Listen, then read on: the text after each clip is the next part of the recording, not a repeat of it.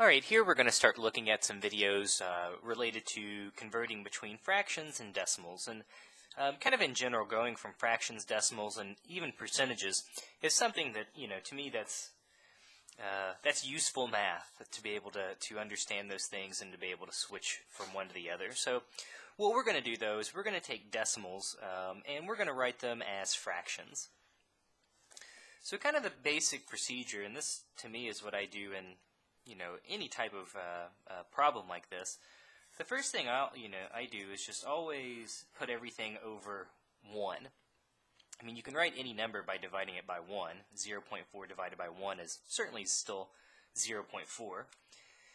And now what we want to do is simply get rid of decimals. And to get rid of decimals, you'll either multiply by, you know, 10 over 10, or 100 over 100, or 1,000 over 1,000, etc. And again, all that's going to do is uh, move the decimal place. So in this case, we're going to multiply by 10 over 10. So again, multiplying by 10 basically has the effect of moving the decimal place 1 to the right. Well, 0.4 times 10 then will be uh, simply equal to 4. 1 times 10 is just 10. And hey, now we've got our decimal as a fraction, but of course we can reduce this one a little bit. They're both even. So we could write the numerator as 2 times 2, the denominator as 2 times 5. We could cancel out those common factors of 2 and be left with 2 over 5 or 2 fifths.